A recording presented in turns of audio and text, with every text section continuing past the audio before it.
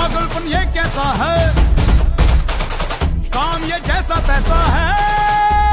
सोच की वक्त है, थोड़ी सी शरारत है। टेढ़ा ये सामान क्यों है? आफत में जान क्यों है? मच रहा बवाल क्यों है? उल्टा ये दिमाग क्यों है? आसमां को छू कर देखा, तारों की करनी सवारी, चाँद पर भी नचे हम भी तूफानों से यारी। आसमां को छू कर देखा